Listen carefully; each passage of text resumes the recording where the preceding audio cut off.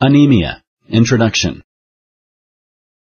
Anemia happens when a person doesn't have enough red blood cells. When you don't have enough red blood cells, your blood can't carry enough oxygen to your body.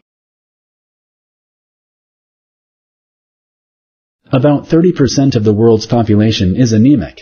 Most cases of anemia are mild and easily treated, but severe or long-lasting anemia can damage the heart, brain, and other organs of the body. It may even cause death. This program will help you understand anemia, including its symptoms and causes. It will also discuss risk factors, treatment, and prevention. Blood. Anemia is a disease of the blood. Blood helps distribute the nutrients, oxygen, and hormones the body needs.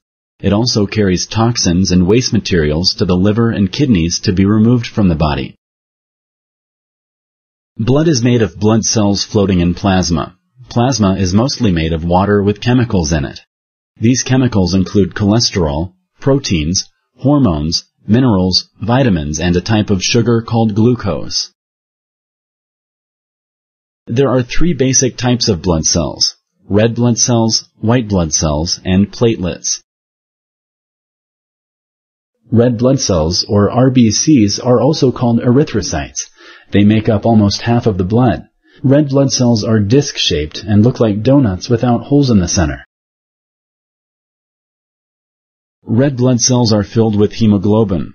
Hemoglobin is a protein that picks up oxygen in the lungs and delivers it to cells all around the body. Hemoglobin also picks up carbon dioxide or CO2 from the cells to be breathed out from the lungs. White blood cells, or WBCs, are also called leukocytes. They fight disease and infection by attacking and killing germs that get into the body. There are several types of white blood cells. Each type fights different kinds of germs in different ways. Platelets are also called thrombocytes. They are small pieces of cell that help blood clot and stop bleeding. Blood cells are made in the bone marrow.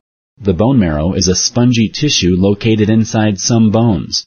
It contains young parent cells called stem cells. Stem cells can grow into all three types of blood cells. Not having enough of one type of blood cell is called a low blood count. Healthcare providers also call this a cytopenia. A low red blood cell count is called anemia. With some types of anemia, you may have low numbers of all three types of blood cells. Anemia can also happen if your red blood cells don't contain enough hemoglobin or if the hemoglobin is defective. Symptoms The most common symptom of anemia is feeling tired or weak. Other symptoms may include shortness of breath, pale skin, lightheadedness, chest pain, feeling the heartbeat. The symptoms of anemia also include headache, ringing or humming in the ears, increased sleepiness, coldness in the hands and feet. The more severe the anemia and the more quickly it develops, the worse the symptoms tend to be. Many other problems can cause these symptoms, so healthcare providers must perform tests to find out if the symptoms are related to anemia. If you have symptoms of anemia, see your healthcare provider to find out whether you are suffering from that condition. Complications Anemia can cause complications if left untreated.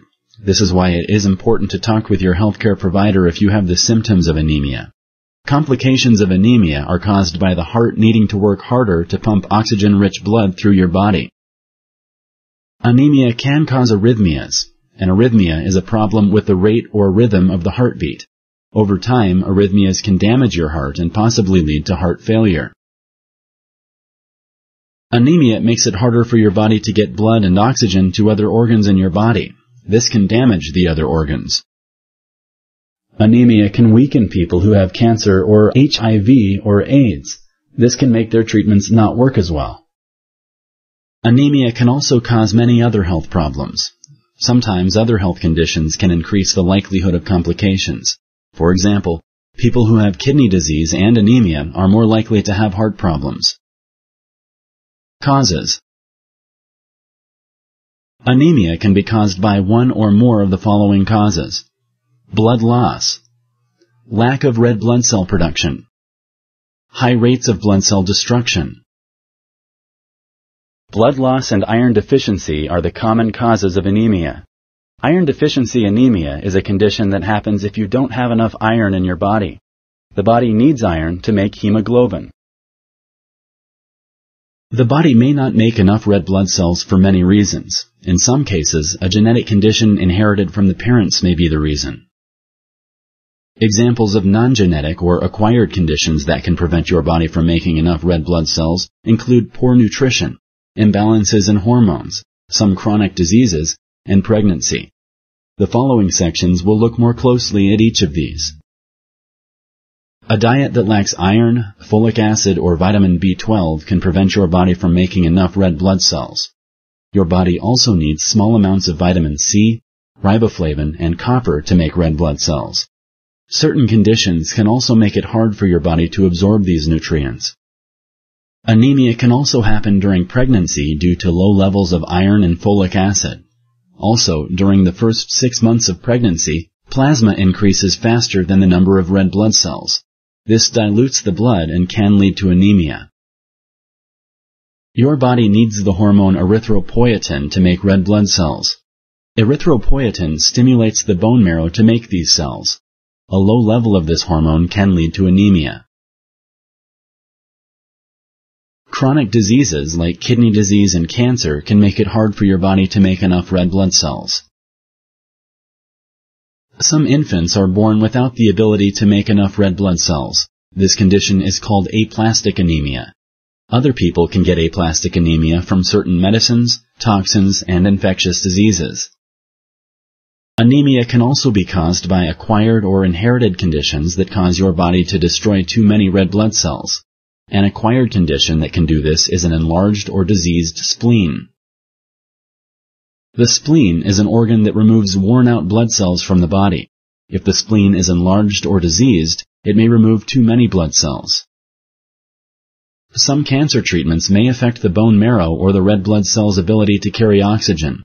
If bone marrow is damaged, it can't make red blood cells fast enough to replace the ones that died or were destroyed. Also, people with HIV, AIDS, may develop anemia due to infections or medicines used to treat their diseases. Inherited conditions that destroy too many red blood cells include sickle cell anemia, thalassemias, and a lack of certain enzymes. Risk factors Anemia is a common condition. People in all age, racial, and ethnic groups can get anemia but there are certain risk factors that increase the chances of getting anemia. Women of childbearing age are at a higher risk for anemia. This is because women in this age range lose blood from menstruation. Anemia can also happen during pregnancy. Patients who have lost a lot of blood during a surgical operation or because of an injury can develop anemia. Some babies are also at risk for anemia due to iron deficiency. Premature infants or infants who are only fed breast milk or formula that isn't fortified with iron can develop iron deficiency anemia. Infants between 1 and 2 years of age are also at risk of anemia. They may not get enough iron in their diets, especially if they drink a lot of cow's milk. Cow's milk is low in iron and can prevent the body from absorbing iron from iron-rich foods. Teenagers are at increased risk of anemia. Growth spurts during these years puts them at higher risk of iron deficiency anemia. Researchers continue to study how anemia affects older adults. More than 10% of older adults have mild forms of anemia. Many of these people have other medical conditions as well. A person with long-term or serious illnesses is also at a higher risk of anemia. These illnesses include cancer, diabetes, heart failure, HIV AIDS. Other illnesses that can increase the risk of anemia include inflammatory bowel disease, kidney disease, liver disease, rheumatoid arthritis, thyroid disease, Other risk factors include a diet low in iron, vitamins, or minerals, a family history of inherited anemia, blood loss from surgery or an injury, long-term infections, diagnosis. When diagnosing anemia, your healthcare provider will ask about any symptoms you may have. They will also ask about the medicines you take, your diet, and whether you have a family history of anemia. Your healthcare provider will do a physical exam and may run some blood tests to help diagnose anemia. If your healthcare provider thinks you have anemia due to internal bleeding, he or she may suggest other tests to look for the source of the bleeding. Your healthcare provider may also want to do bone marrow tests. These tests show whether your bone marrow is healthy and making enough blood cells. Treatment Treatment of anemia depends on the type, cause, and the severity of the anemia. Treatments may include dietary changes or supplements, medicines, or procedures. Low levels of vitamins or iron in the body can cause some types of anemia. Your healthcare provider may recommend that you include more iron-rich foods in your diet.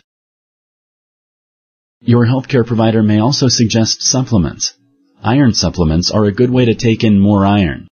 Other common supplements that may be suggested are vitamin B12, folic acid, and vitamin C. Your healthcare provider may prescribe medicines to increase the number of red blood cells your body makes. Medicines can also treat an underlying cause of anemia. Medical procedures may be needed to treat severe anemia. These procedures can include blood transfusion, blood and marrow stem cell transplant, or surgery. A blood transfusion is a safe, common procedure in which blood is given to you through an intravenous line in one of your blood vessels. A blood and bone marrow stem cell transplant replaces your damaged stem cells with healthy ones from another person. Stem cells are found in the bone marrow. They develop into red and white blood cells and platelets. If you have serious or life-threatening bleeding that's causing anemia, you may need surgery. Surgery can be used to control ongoing bleeding. It may also be needed to remove the spleen if your body is destroying red blood cells at a high rate in your enlarged spleen.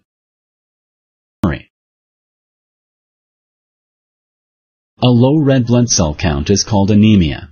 When you do not have enough red blood cells, your blood cannot carry enough oxygen to your body. It is estimated that about 30% of the world's population is anemic. Anemia has three main causes blood loss, lack of red blood cell production, or high rates of blood cell destruction. These causes may be due to many diseases, conditions, or other factors. The more severe the anemia and the more quickly it develops, the worse the symptoms tend to be. If you have symptoms of anemia, see your healthcare provider to find out whether you have the condition. Severe or long-lasting anemia can damage the heart, brain, and other organs of the body. It may even cause death. But most cases of anemia are mild and easily treated by including more iron-rich foods in your diet or by iron supplements. You should understand that this health education video 1. includes general information and not specific medical advice. 2. It shows graphics and series of pictures and dialogues that have been simplified for better understanding. If you have any questions, you will check with your doctor or healthcare provider.